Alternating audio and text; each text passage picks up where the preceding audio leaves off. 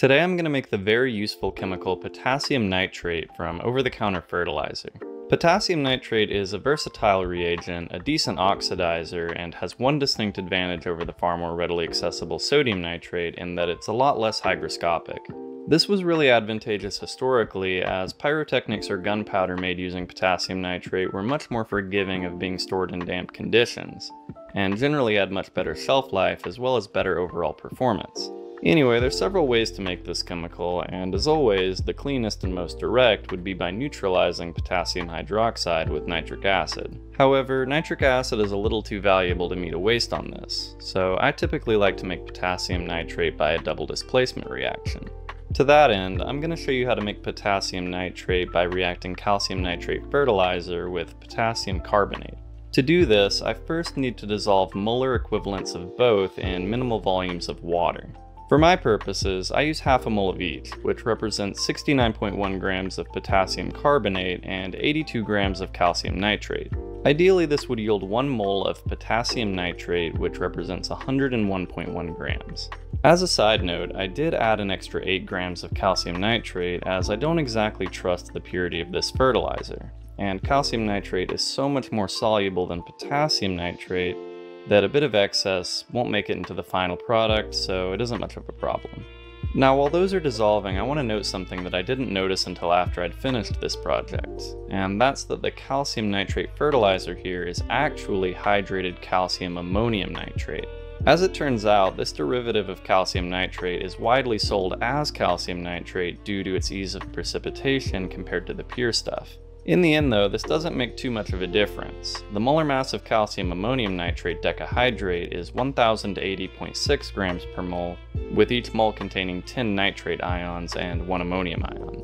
With that said, I would ideally have needed 108.06 grams here and I used 90 grams. There will also be an ammonium carbonate impurity here, but I figure very little makes its way into the final product. Regardless, I do plan to convert the rest of the calcium ammonium nitrate to calcium nitrate for future projects.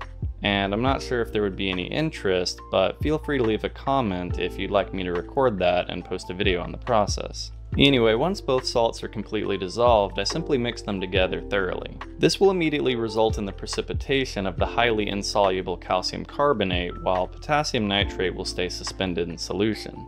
At this point, it's simply a matter of filtering away the calcium carbonate, rinsing it a little bit, and boiling down the filtrate to crystallize my potassium nitrate.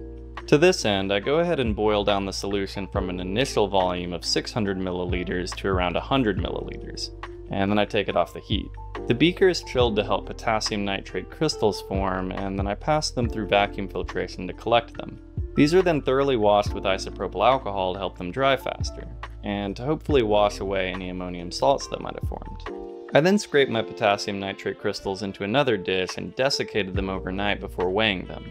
This gave me a final mass of 91.06 grams, but I still felt like these could get a bit drier, so I gave them another two days in the desiccator.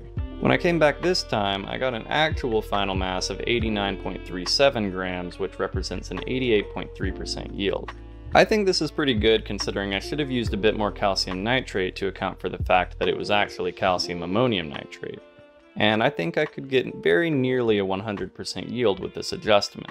Regardless, I hope you enjoyed this video, or at least found it interesting, and as always, I want to thank all my incredible patrons for their very generous contributions. Your support is incredibly vital and very appreciated. And to everyone else, if you'd like to see more content like this, consider subscribing on TikTok, YouTube, Instagram, or even by becoming a patron yourself. Thank you all so much for watching, and I'll see you next time.